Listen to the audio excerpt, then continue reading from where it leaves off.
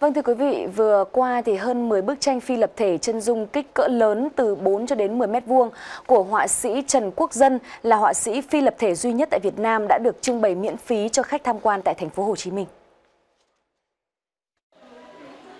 Với chiều dài lên đến 5 mét và chiều ngang 2 mét, những bức tranh chân dung phi lập thể có chi phí hàng chục triệu này đã nhanh chóng thu hút sự tò mò của người tham quan.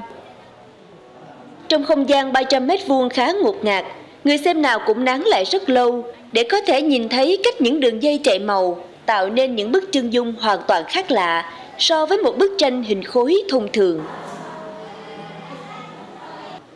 Bên cạnh những bức tranh khổ to, những sản phẩm tái chế như chậu hoa nhựa, giấy xi măng tạo hình vỏ gối cũng được họa sĩ Nguyễn Quốc Dân tận dụng, tạo ra những bức chân dung chịu nhiều sự co giãn, dàn xé của xã hội. Được biết lý do để họa sĩ Nguyễn Quốc Dân theo đuổi trường phái tranh phi lập thể chính là vì nạn tranh giả hiện nay đang rất phổ biến, không chỉ tại Việt Nam mà cả thế giới. Ông cho rằng những bức tranh phi lập thể này không thể làm giả được.